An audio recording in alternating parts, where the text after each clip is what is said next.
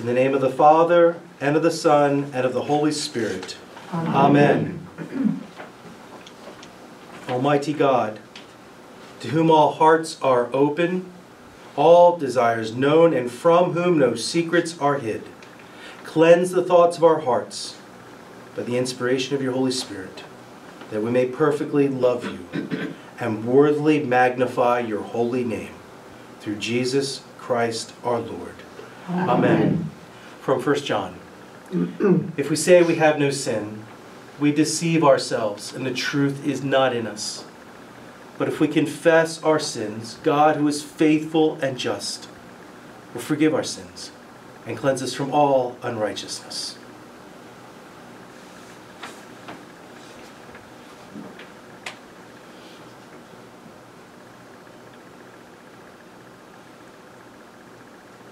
Most merciful God, we confess that we are bondage to sin and cannot free ourselves. We have sinned against you in thought, word, and deed, by what we have done and by what we have left undone. We have not loved you with our whole heart. We have not loved our neighbors as ourselves. For the sake of your Son, Jesus Christ, have mercy on us. Forgive us, renew us, and lead us, so that we delight in your will and walk in your ways, to the glory of your holy name. Amen.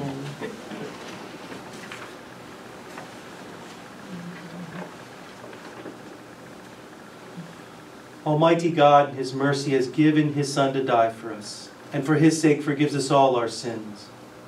As a called and ordained minister of the Church of Christ, and by His authority, I therefore declare to you the entire forgiveness of all your sins. In the name of the Father, and of the Son, and of the Holy Spirit. Amen. Amen. The grace of our Lord Jesus Christ, the love of God, and the communion of the Holy Spirit be with you all and also with you. In peace, let us pray to the Lord. Lord, have mercy. For the peace from above and for our salvation, let us pray to the Lord. Lord, have mercy. For the peace of the whole world, for the well being of the Church of God, and for the unity of all, let us pray to the Lord. Lord, have mercy. For this holy house, and for all who offer here their worship and praise, let us pray to the Lord. Lord, have mercy. Help, save, comfort, and defend us, gracious Lord. Amen. Amen. The prayer of the day. Let us pray. O God, the strength of those who hope in you, be present and hear our prayers. And because in the weakness of our mortal nature we can do nothing good without you, give us the help of your grace so that in keeping your commandments we may please you in will and deed. Through your Son, Jesus Christ our Lord. Amen. Amen. I commend to you the first lesson from Genesis for later this evening. And we'll begin this evening with Psalm 130. Out of the depths I cry to you, O Lord. O Lord, hear my voice. Let your ears be attentive to the voice of my supplication. If you were to keep watch over sins, O Lord, who could stand? Yet with you is forgiveness, in order that you may be feared. I wait for you, O Lord. My soul waits in your word is my hope. My soul waits for the Lord more than those who keep watch for the morning, more than those who keep watch for the morning. O Israel, wait for the Lord. For with the Lord there is steadfast love, with the Lord there is plenteous redemption. For the Lord shall redeem Israel from all their sins. Our second lesson this evening is from St. Paul's second letter to the church at Corinth, beginning in the fourth chapter.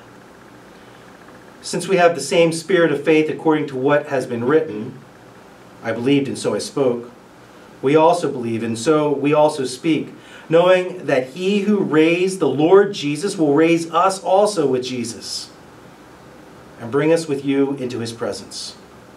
For it is all for your sake so that as grace extends to more and more people, it may increase thanksgiving to the glory of God. So we do not lose heart. Though our outer self is wasting away, our inner self is being renewed day by day. For this light, momentary affliction is preparing for us an eternal weight of glory beyond all comprehension as we look not to the things that are seen, but to the things that are unseen. For the things that are seen are transient, but the things that are unseen are eternal.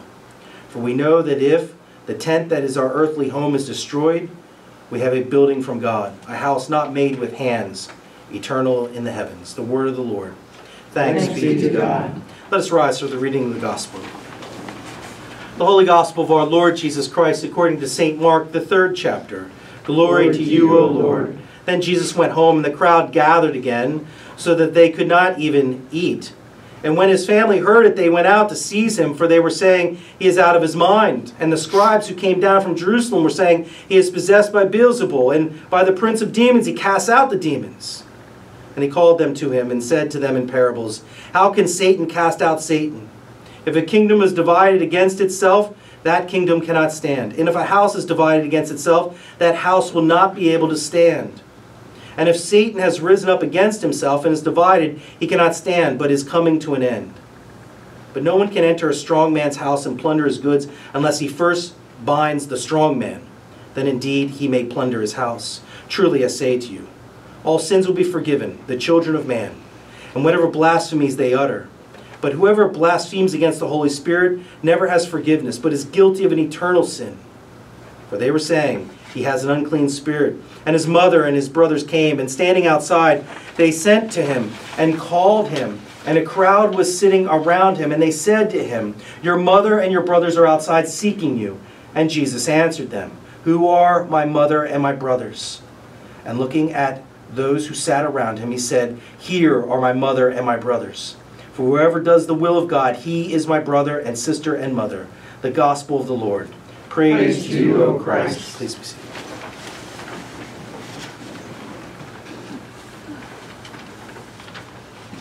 This evening, the word comes to us from St. Mark's Gospel, the third chapter, A Peculiar Faith and Church. In the name of the Father, and of the Son, and of the Holy Spirit. Amen.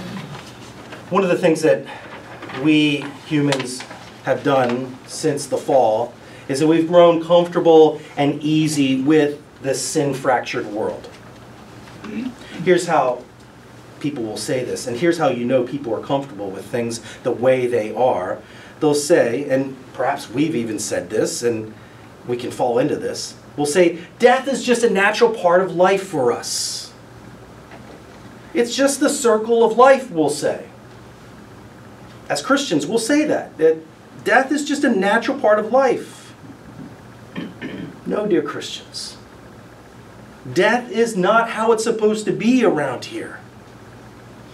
Death is foreign to this world, to God's good creation as it was before the fall. Darkness is foreign to God's good creation as it was before the fall. Now, we've come to expect the world to always be like this, and, and we've all gotten used to things. The scribes in our Lord's day, they were used to this world being this way. They knew that people were born, they lived, they died, and that's just how it is here. Our Lord's critics, as you read them throughout the Gospels, were comfortable with the one that Jesus says who rules over this dark world, the evil one. If you've ever seen that movie, um, Shawshank Redemption, do you remember one of the characters, or probably midway through the movie, he had spent his entire life in, in, in a penitentiary, in a state penitentiary, and then he gets released, and they, for a short period of the film, they show this guy out in the world, and, and he can't function because he's so institutionalized in the prison. He can't work at a job in a grocery store because everything that he does, he has to ask the manager, can I do this, can I do that? Because he doesn't know what it's like to live in that world. We, many of us, can become institutionalized to this broken, sin filled world. We become used to it. And we don't consider that there's another world that our Lord is working to bring to us now. So it is that Jesus arrives on the scene and he starts preaching and he starts healing people. We read about this in Mark's gospel. And people are given new life and they're given this vision by Jesus through his preaching of this new world that is coming into being. So the ones who have this, this glorious vision of this new world, this new creation that, is, that Jesus is ushering in, once they hear about it and once they have received new life in Him, they can't get enough. They want to be around Him. Jesus is preaching and teaching, and they gather around Him. They want more of His Word. And it's so much that they can't even sit down to eat. The crowd gathers around Jesus. Think about that for us as Christians. We've heard this word of promise from the Lord. We've come to believe. We've been baptized into Jesus, and we have this new life in Him. And what is it for us? It is the greatest thing that has ever happened to us. And we've all had great prosperity in our lives, children and a marriage and children, and we've seen great successes in our lives. We've had terrible valleys that we've gone through, all of us. But the greatest thing that has ever happened to all of us gathered here tonight is that we've heard the gospel, we've come to believe it, and we've received new life in Jesus. We've been baptized into Him. And so we only want Jesus. Because that word of promise that has come into our ears has broken the chains that have held us in slavery, right? Of sin, death, and the devil. Those chains have been broken. And we now have this word of promise from Jesus that we no longer belong to the evil one. That he's still in a rearguard action in this world. Of course he is. But he has no sovereignty over us. You, dear Christians, are no longer entrapped in the chains of sin. You're no longer subject to the fear of death. But instead, on account of Jesus and by his death and resurrection, you are, as the gospel declares, and as you have heard and come to believe, forgiven.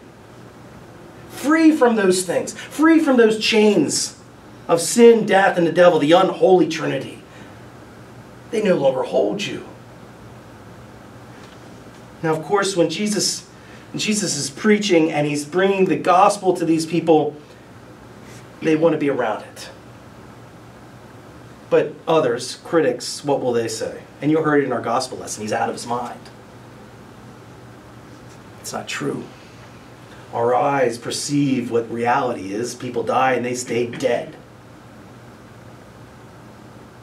Jesus has a different word.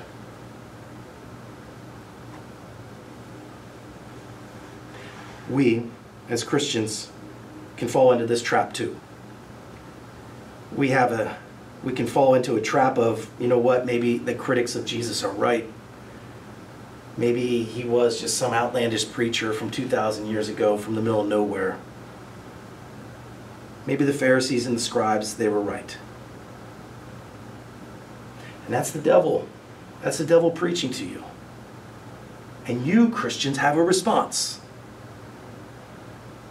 Your response to the evil one preaching to you, saying that, you know what, this is all there is.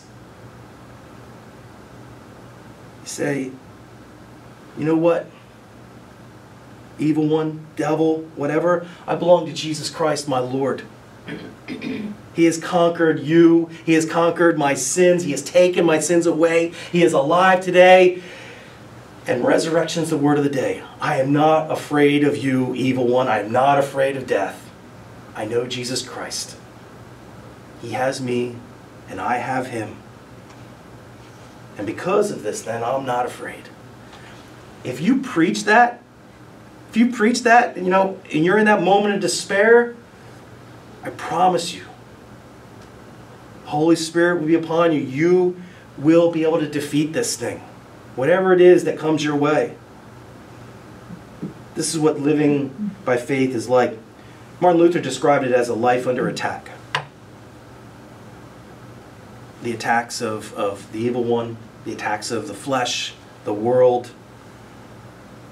And when those attacks come, you go back to the promises of Jesus. You remember your baptism. Take some water from the faucet, put it on your forehead, and remember, and say to yourself, I am baptized. I've died with Jesus and I've been raised with him. People, your friends, your family, whatever, may say that's weird. That's strange. That's fine. We Christians, we're a peculiar people. We belong to a peculiar church. And that's all right. We don't look for the world's approval. We're following after Jesus. And He leads us. He leads us all the way home. So, dear Christians, hold firm to those promises of Jesus. He has you. And nothing can ever separate you from His love. In the name of Jesus Christ our Lord. Amen. Amen.